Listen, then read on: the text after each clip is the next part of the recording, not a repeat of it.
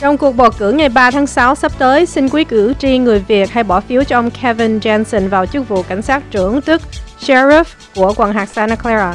Ông Kevin Jensen nguyên là đại úy và có 28 năm làm việc với văn phòng Sheriff quận hạt Santa Clara qua nhiều chức vụ chỉ huy khác nhau. Gần đây nhất, ông là giám đốc chương trình ứng phó toàn tiểu bang California. Kinh nghiệm, tận tụy, minh bạch, tôn trọng sự bình đẳng là những ưu điểm nổi bật của ứng cử viên Kevin Jensen. Nên cả hai hiệp hội phó cảnh sát trưởng DSA và hiệp hội cảnh sát cải huấn CPOA đều hoàn toàn ủng hộ ông trong cuộc bầu cử này. Ông Kevin Jensen cũng quan tâm đến nhu cầu của cộng đồng Việt Nam và ông đã đến tham dự cả hai hội chữ Tết vừa qua để chúc Tết người Việt chúng ta.